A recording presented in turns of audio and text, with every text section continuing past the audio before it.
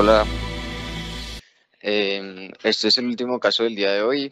Este es un paciente hombre de 44 años sin antecedentes eh, conocidos previos a la consulta, dos horas de evolución de alteración del estado de conciencia que dura alrededor de 10 minutos. Cuando lo valora neurología, pues lo enfoca como una crisis focal compleja. Eh, inicialmente le toman una escanografía que no les voy a mostrar las imágenes, que únicamente tiene un área de edema vasogénico eh, frontoparietal derecha eh, y le toman esta resonancia magnética. Entonces tenemos eh, un FLAIR con saturación grasa, un T2 coronal, eh, un T1 post contraste, un RCBB, un volumen sanguíneo cerebral, un T2 estrella em, y un T1 para mostrarles pues que en efecto teníamos esta área de edema vasogénico que, se, eh, o que era muy circunscrita a la mm, sustancia blanca subcortical. Adicionalmente vemos eh, como en ST2 eh, la intensidad de señal de la corteza está homogéneamente aumentada y había una, como un engrosamiento aparente de esa corteza. en el T1 post contraste vemos que hay un realce grueso leptomeningio eh, que es asimétrico y estaba únicamente localizado donde teníamos eh, esa alteración en la intensidad de señal en la morfología cortical em, y se demostraban eh, algunos focos de susceptibilidad magnética en el T2 gradiente de eco que podría pues corresponder con algunos focos hemorrágicos. inicialmente cuando valoramos esta perfusión, no vimos eh, unas alteraciones muy significativas, eh, sin embargo, pues cuando se miró retrospectivamente este estudio, sí vemos que eh, hay unas áreas muy donde estaba el real selectomeningio que demostraban aumento del volumen sanguíneo cerebral. inicialmente cuando valoramos esta resonancia, digamos que la enfocamos como algo eh, poco específico, eh, en algún momento se consideró que esto pudiera relacionarse con una trombosis venosa, aunque pues no teníamos ningún defecto en los vacíos de señal, em, o como una lesión tumoral eh, glial, em, por lo que se le terminó solicitando un estudio de espectroscopía. Aquí para mostrar que en las imágenes de difusión había un discreto realce justamente pues cortical eh, y estas son las eh, imágenes de la espectroscopía. Esto es un tiempo de eco largo de 135, donde en el voxel, eh, con una técnica multivoxel, donde en la lesión cortical tenemos un aumento de esas relaciones colina en espartato desde de hasta 5,76. Igualmente vemos que tenemos un pico de lípidos y en la periferia de la lesión realmente esas áreas de edema vasogénico eh, o lo que si fuera un glioma sería enfermedad no, medible, eh, no tenían alteración de esas relaciones colina y acetilaspartato eh, en esos tiempos de colargos. Acá el mapa de relación colina y acetilaspartato donde vemos que la mayor parte de la lesión tiene este, esta relación mayor a 2 y en la periferia realmente la relación se encontraba conservada, menor a 1. Em, y eh, haciendo el análisis cuantitativo de la perfusión del volumen sanguíneo cerebral, eh, podemos ver las curvas a la izquierda y cómo se hizo eh, el análisis o el mapeo a la derecha con un ROI en espejo. vemos cómo ese volumen sanguíneo cerebral presenta 2,9 veces el valor de la sustancia gris contralateral, que nos quiere decir que hay un franco aumento en el volumen. todo lo que nos indica que esto muy seguramente es una lesión tumoral eh, que por sus características es una metástasis. Em, y este paciente fue llevado a una resección quirúrgica eh, donde en efecto encontramos eh, lo que esperábamos por imágenes, que es una metástasis de una, de un adenocarcinoma mal diferenciado de probable origen gastropancreato biliar. Entonces, cuando estamos valorando una lesión del sistema nervioso central, eh, uno puede hacerse diferentes preguntas. La primera, ¿esto es un tumor o es un hallazgo inflamatorio? La segunda, si es un tumor, ¿es un tumor primario del sistema nervioso central o es una metástasis? Eh, y prácticamente en la mayoría de lesiones cabe siempre la pregunta eh, si lo que estamos viendo es un linfoma. Eh, entonces, ¿es esto un tumor? Em, digamos que se han hecho diferentes estudios eh, en los que se comparan las lesiones tumorales metastásicas y primeras del sistema nervioso central contra eh, patología inflamatoria, incluyendo encefalitis, incluyendo infarto, incluyendo otras etiologías inflamatorias del sistema nervioso central. y sabemos que la espectroscopía y la perfusión juntas tienen una sensibilidad del 72% y una especificidad del 91% para diferenciar entre algo tumoral y algo inflamatorio.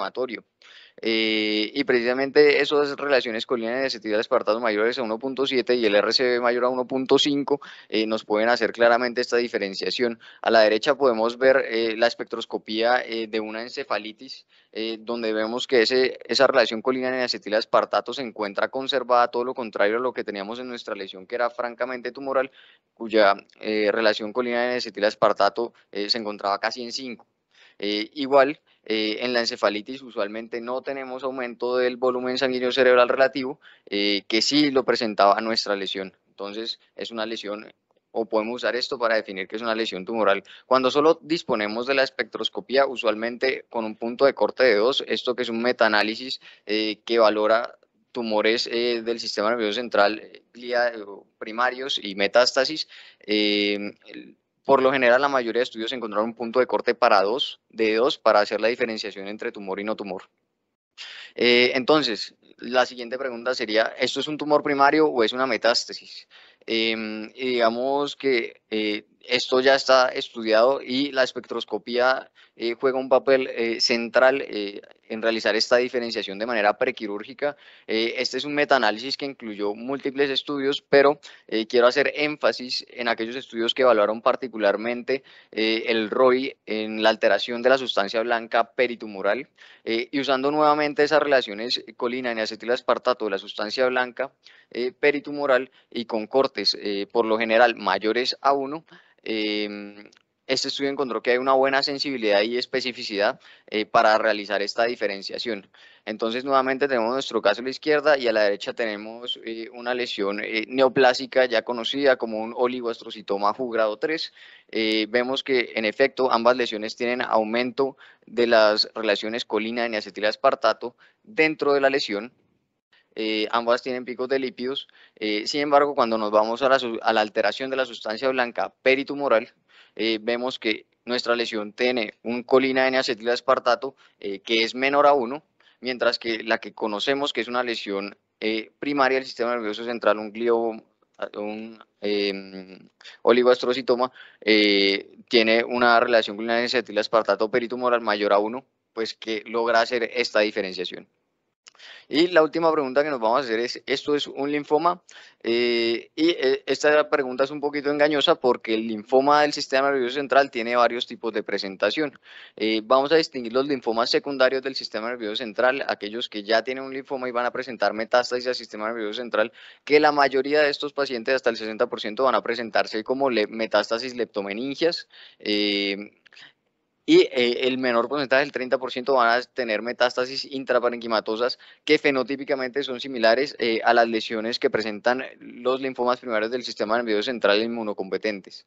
Y cuando hablamos del linfoma primario del sistema nervioso central, o sea, que, parece, que aparece en el sistema nervioso central sin que haya un compromiso en ningún otro órgano antes, eh, nos vamos a enfocar en la localización periventricular y superficial, sobre todo cortical o subcortical, y vamos a hacer la distinción en los hallazgos de inmunocompetentes y inmunocomprometidos, ya que los inmunocompetentes usualmente presentan una imagen muy típica de un realce solitario homogéneo marcado eh, y tienden a ser múltiples hasta en el 20 a 40% eh, por ciento de los casos. Hay otros signos que se han descrito como el realce lineal a lo largo de espacios perivasculares eh, o el compromiso de la sustancia blanca hemisférica o periventricular, esto es compromiso sin realce.